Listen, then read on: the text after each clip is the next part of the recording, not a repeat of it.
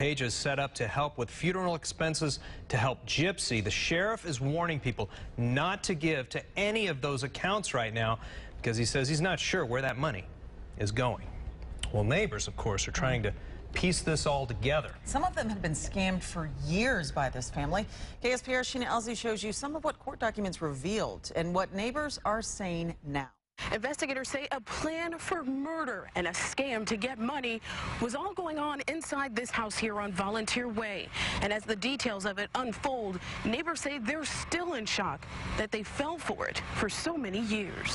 Shelby Squazenroff thought the young woman that lived down the street was just like her.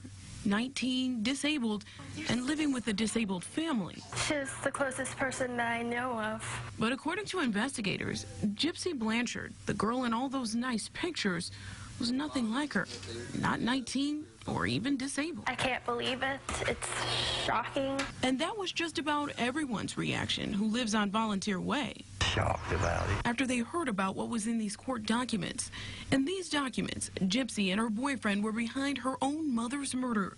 Court documents show her boyfriend admitted to stabbing her mother Dee Dee to death on the bed, all while Gypsy was there. Documents show Gypsy posted expletives on Facebook bragging about what they'd done, and her boyfriend mailed the murder weapon to his home in Wisconsin, where they were both found and arrested. But friends and neighbors still don't want to believe that girl in all those nice pictures was a part of a murder and a scam. It hurts.